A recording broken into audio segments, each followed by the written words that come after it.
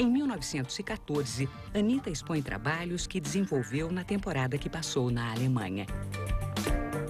A família, a, o público em geral estranhou, porque esperava da Anitta uma pintura de senhorita, uma pintura delicada, de ramos de flores.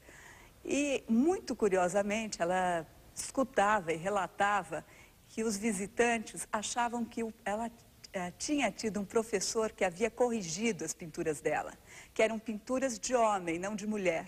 Né? E ela disse que esse era um dos grandes elogios que ela tinha, que ela recebia na época.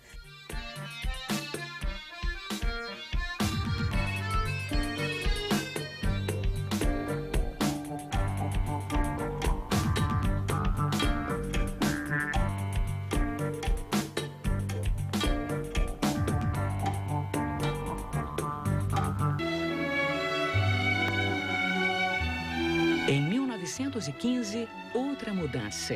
Ela foi para os Estados Unidos, muito incentivada por todos para aprimorar a técnica. Né? Conseguir uma técnica mais suave, mais delicada, aprimorar aquela brutalidade que ela trouxe da Alemanha. Né? Não deu certo.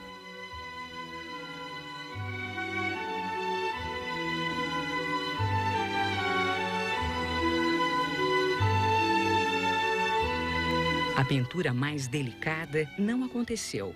A explosão cromática e alteração da forma, características do expressionismo, tomaram conta de sua produção. Nos Estados Unidos, a pintura se torna mais luminosa, a pincelada mais livre.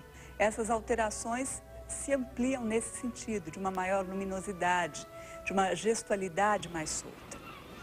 Anitta retorna a São Paulo ainda mais carregada de tintas e formas traz na bagagem uma série de pinturas, nem um pouco tranquilas, sossegadas, com aquela técnica esperada, e participa de algumas exposições e inclusive faz uma exposição individual.